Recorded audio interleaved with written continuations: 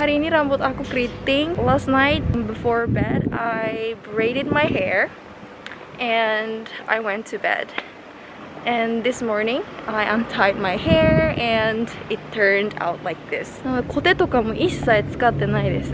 髪の毛を傷めることもないので、たまにこんな感じで髪の毛をカールしています。Sekarang di mana-mana orang pakai masker, jadi aku juga pakai masker kalau keluar. Kan sudah bulan Juli, jadi sudah panas banget. Aku keringetan. Nah, hari ini anginnya kenceng loh. Kenceng sekali. Settling in, settling down.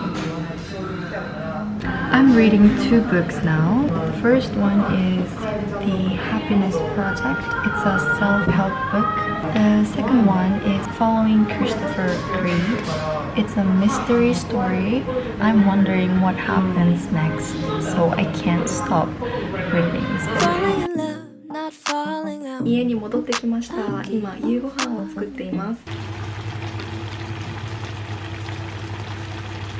皆さんは料理をするのが好きですか？私はですね中学生くらいの時から料理をするようになりました最初の方は本当に失敗ばかりしていてレシピ本を見ながら料理を進めていたのにもかかわらず間違えた分量を入れてしまったりとかしていたんですがだんだん数をこなしていくにつれて要領をつかめるようになってできるようになりました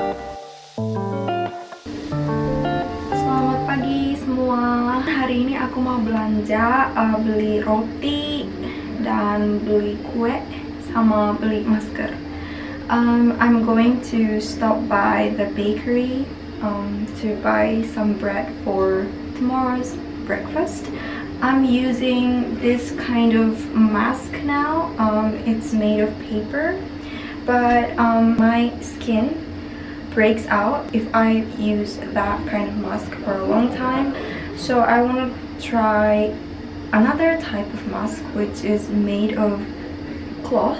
I want to buy some cake because I am dying to eat cake. さあ、私と一緒にお買い物に出かけましょう。Let's go.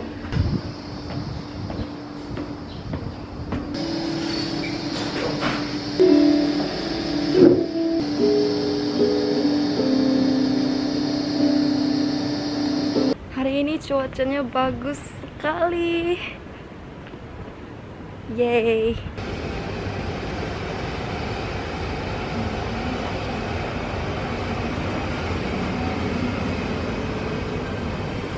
新しい布のマスクを買ってみました本当にめちゃくちゃ涼しいですわすごい息しやすい帽子の色と一緒なんだけど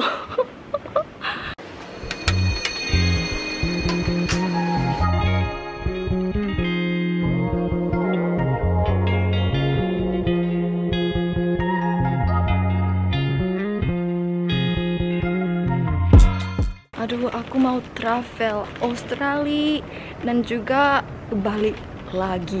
Karena itu my favorite place in Indonesia so far. Eh, bahasa Indonesia itu lucu banget loh. Karena kalau di dalam bahasa Inggris kita bilang Greece, di dalam bahasa Jepang Girisha, so Greece, Girisha itu kan mirip banget.